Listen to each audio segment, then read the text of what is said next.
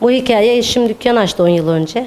Ben de onun yanında çıraklık yaparken bu işe heveslendim.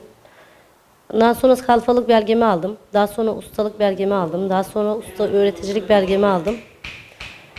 Ee, bu şekilde işimi severek yapıyorum. Çok karşılaştım. Elinin hamuruyla erkek işine sen girme diyen oldu. Yapamazsın diyen oldu.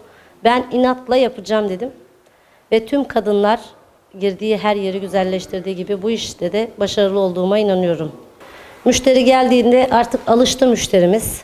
Yabancılar geliyor. E, onlar da işi yapıp teslim ettiğimde gerçekten başarılı olduğuma onlar da inanıyor. Yani bu iş e, işi sevmekle alakalı. Kadınlar her işi yapabilir bence. Kadının girdiği her yer güzelleştiği gibi sanayide güzelleşebilir. Biga'da ilk ve tek motor ustası benim ama benim arkalarım geleceğine inanıyorum da. Rutin yaptığımız işler, e, yağ bakımları yapıyoruz. E, bu motoru söktük. Bu motoru rektifiye verdik. Onu toplayacağız bugün. E, ön takım geliyor. Ön takımı yapıyoruz. Kadınların eli değdiği her yer güzelleşir.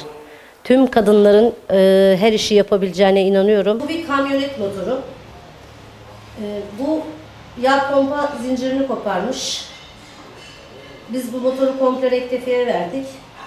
Gömlek, piston, sekman hepsi değişti. Yağ pompasını değiştirdik. Şu an ben yağ pompasını taktım. Karteli oturtturuyorum.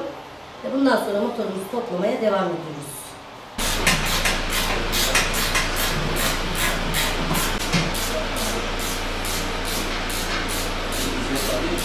Aa.